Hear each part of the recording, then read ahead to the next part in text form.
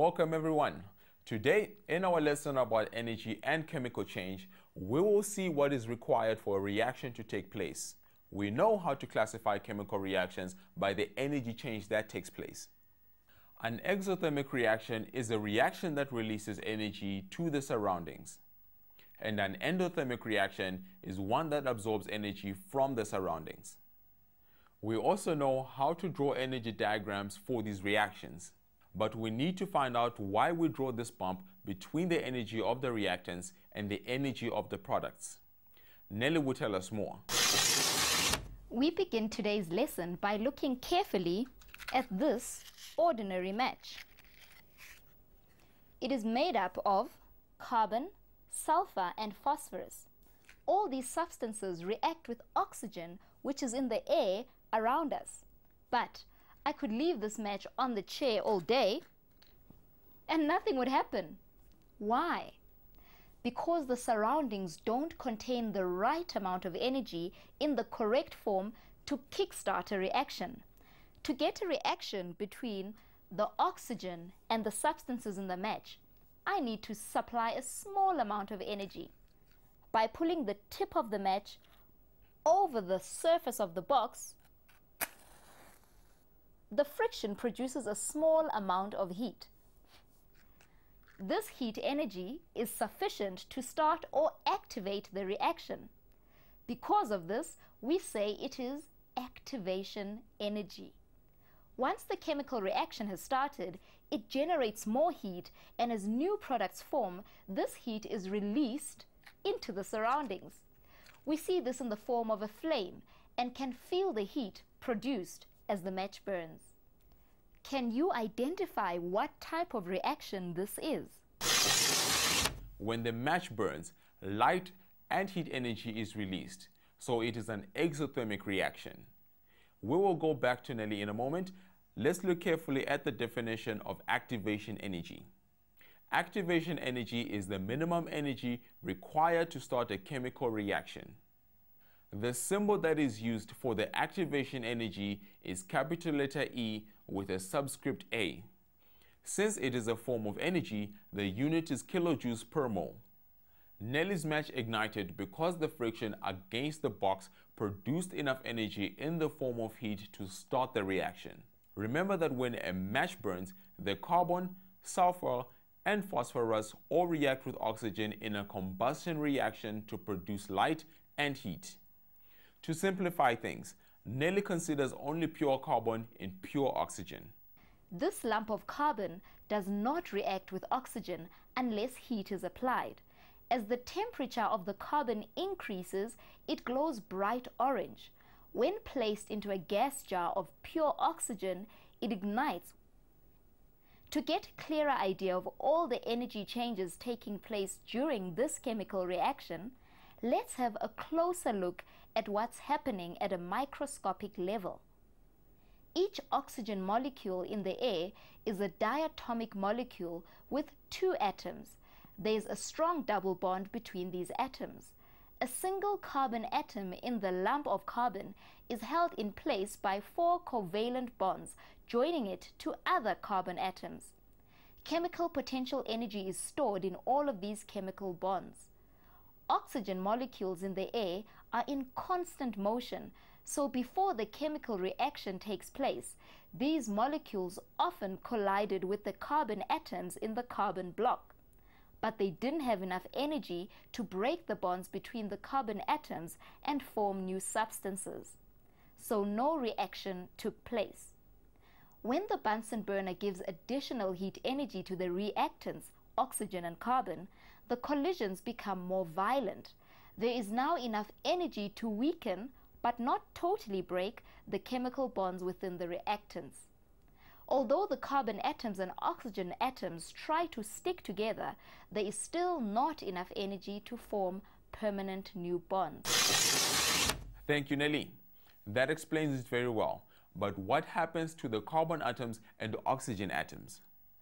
They are in an unstable state which is called an activated complex. This unstable activated complex holds the energy of the reactants, oxygen and carbon, plus the heat energy of the Bunsen burner and thus has more potential energy than the reactants alone.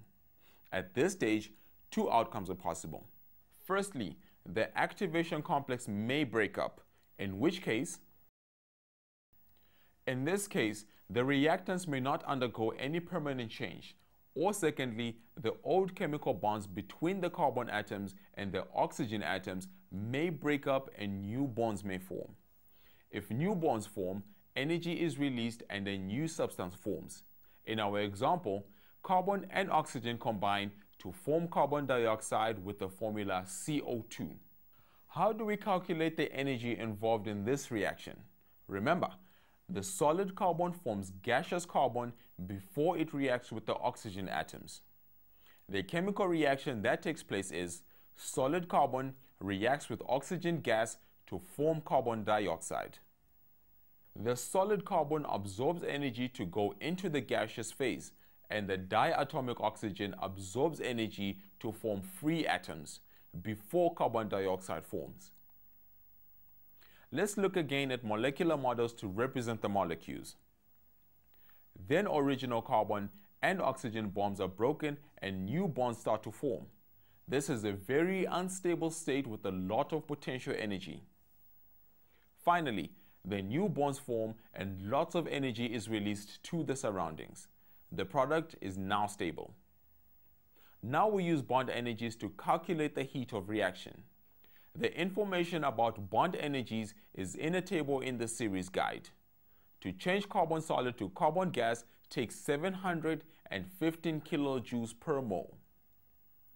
498 kilojoules per mole is needed to break the oxygen double bond, and the formation of a carbon-oxygen double bond releases 803 kilojoules per mole.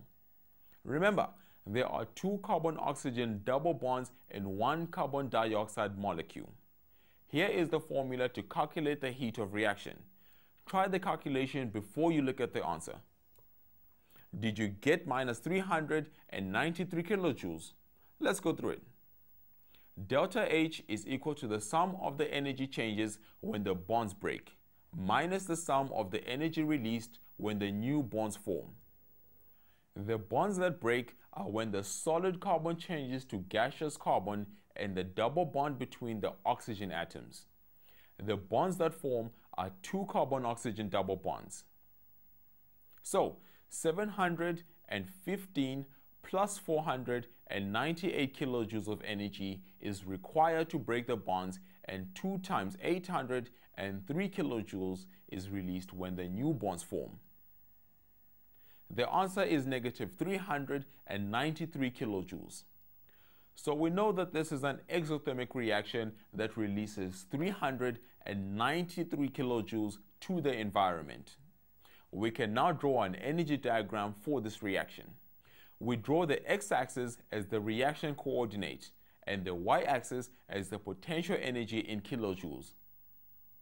The carbon and oxygen had a certain amount of potential energy before the reaction started. We indicate the energy of the reactants with a horizontal line.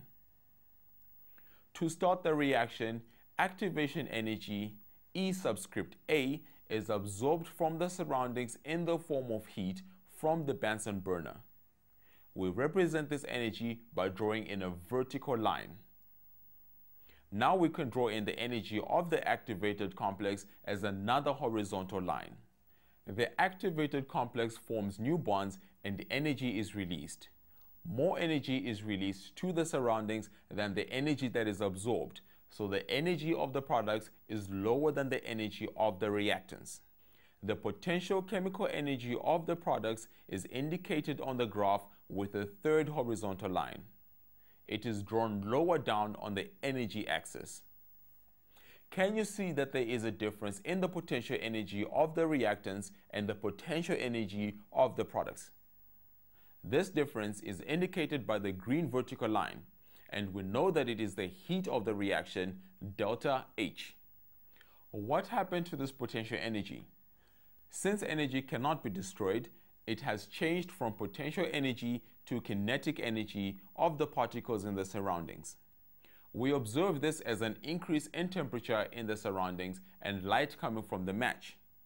Up to now, we have drawn vertical lines to represent the changes in energy. However, the energy gradually increases or decreases during the reaction.